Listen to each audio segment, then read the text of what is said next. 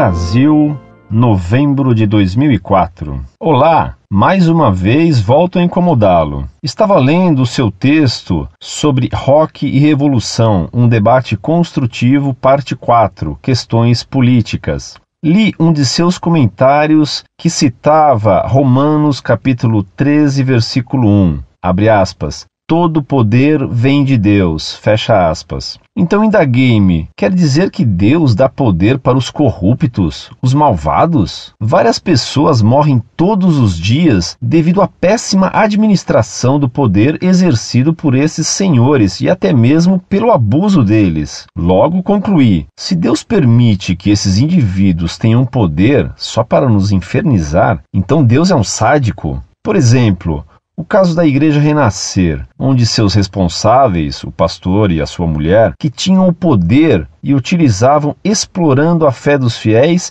e tomando-lhes o dinheiro. Deus realmente queria isso? Aguardo ansiosamente sua resposta. Obrigado.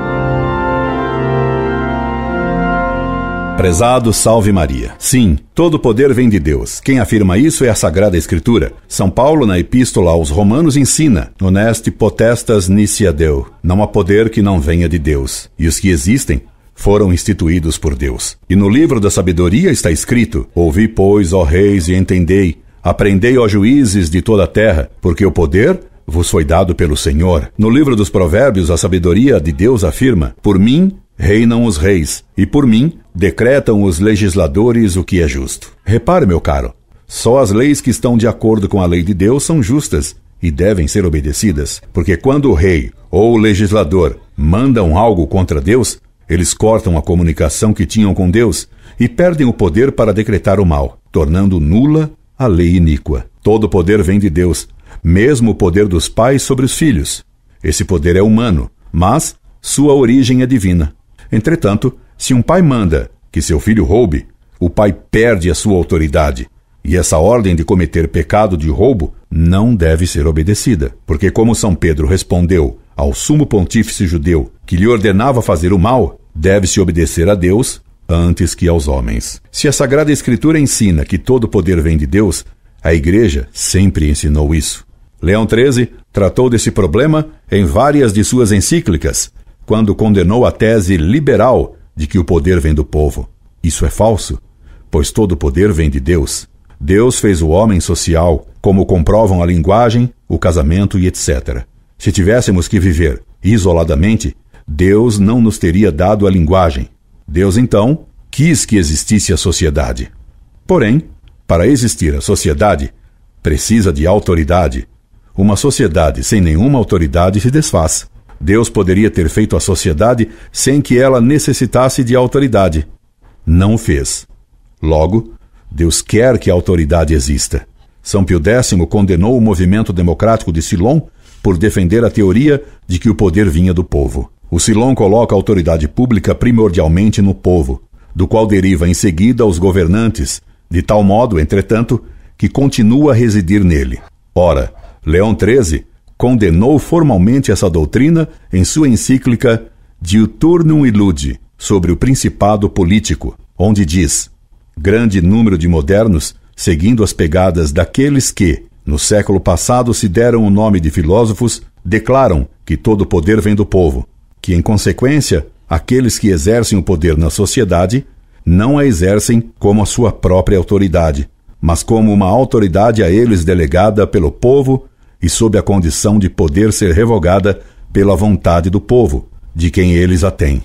Inteiramente contrário é o pensamento dos católicos, que fazem derivar de Deus o direito de mandar, como de seu princípio natural e necessário. Sem dúvida, o Silon fez descer de Deus essa autoridade, que coloca em primeiro lugar no povo, mas de tal forma que sobe de baixo para ir ao alto, enquanto na organização da igreja o poder desce do alto para ir até embaixo. Mas, além de ser anormal que a delegação suba, pois é próprio à sua natureza descer, Leão XIII refutou de antemão essa tentativa de conciliação entre a doutrina católica e o erro do filosofismo. Pois prossegue: é necessário observá-lo daqui. Aqueles que presidem ao governo da coisa pública podem bem, em certos casos, ser eleitos pela vontade e o julgamento da multidão, sem repugnância nem oposição com a doutrina católica. Mas, se esta escolha designa o governante, não lhe confere a autoridade de governar, não lhe delega o poder.